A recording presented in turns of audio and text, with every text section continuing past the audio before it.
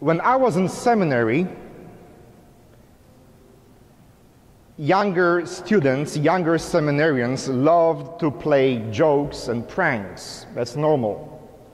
So, in one of our classes called liturgy class, which is supposed to teach us how to do Mass correctly, all those things, we asked our professor, Father, is it permissible for the priest to celebrate Mass without all the vestments, but only with a stole on. Do you know what a stole is? That, that thing underneath that thing. That's a stole. So we asked our teacher, can a priest celebrate a mass just with a stole on? And the professor played a prank on us. He said, Well, I would prefer that you wear underwear at least. So as long as there is underwear and a stole, the mass will be fine. I promise to always wear underwear and a stole when I celebrate Mass here with you at St. Stanislaus. But Catholic religion, like all religions, has many customs, many traditions, all the vestments, bells and smells the altar servers, the candles, the crucifix, all these traditional extra things. But when it comes to the heart of Holy Mass, all these extra things are not crucial. They make our experience beautiful, they lift up our spirits, great music, good vestments, all these things are important, but they are not necessary for the Mass to be Mass. Let me see if you know your Catholic theology and Catholic catechism. What is necessary for the Holy Mass to be valid? What elements have to be present for the Eucharist, for the Holy Mass to be truly Catholic Mass. Give me some ideas. Let's do brainstorming. What the priest, you are smart, yes, the, the validly ordained Catholic priest has got to be there. What else? Yes, the bread and the wine, so we call them the Eucharistic species. Bread and wine have to be there. What else has to be there? Besides underwear. An altar? No. It's a beautiful thing, but it's not required for the Mass to happen. Uh, yes, people. There has to be at least one people, one person, in addition to a priest, for the Mass to take place. So we have three minimum requirements a validly ordained priest, right? Bread and wine, the Eucharistic staff, and the church, the people. A priest should not say Mass just for himself. For the Mass to be truly Catholic, there needs to be a priest and the church, so at least one server, one person in the church to pray with the priest.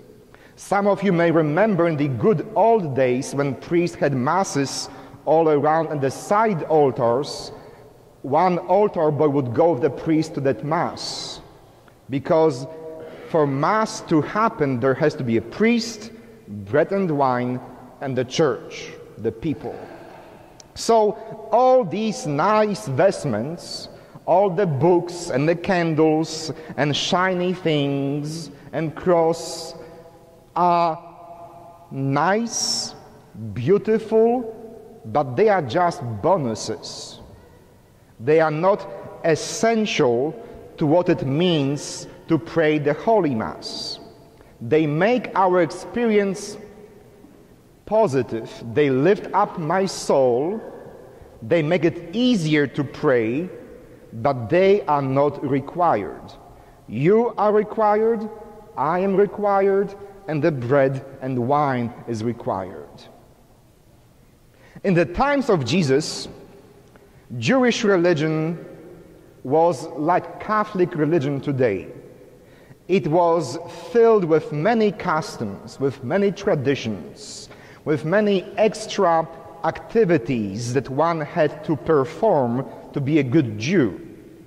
And so, washing of the hands, washing of the cups was one of such traditions.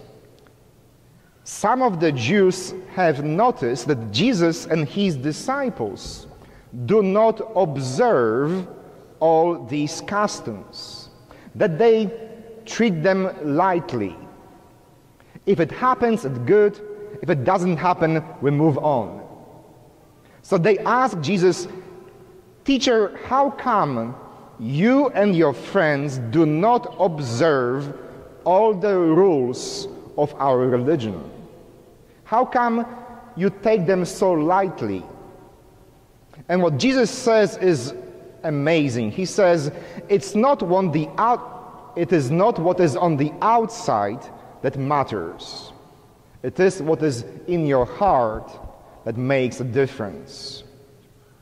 A true religion, the essence of our religion is not my vestments, it's not the candles, it's not the rosary or Bible, it is what is in your heart.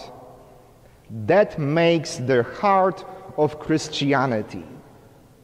All the Bibles, missals, vestments, crosses, rosaries, they are good. They are wonderful. They are beautiful, but they are not the essence of what it means to be the follower of Christ. They are nice additions. They make it beautiful, but they are not at the heart of our faith. In a moment, we'll celebrate two baptisms. And so one could ask what is necessary for baptism to be real? Do you know the answer? Yes, baby.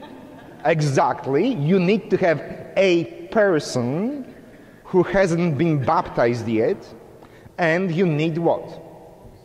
Water. Any water. Any water will do.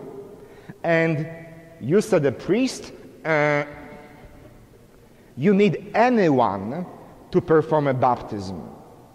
If there is no priest, no deacon, no bishop, a mother, grandfather, a nurse, anyone can perform a baptism.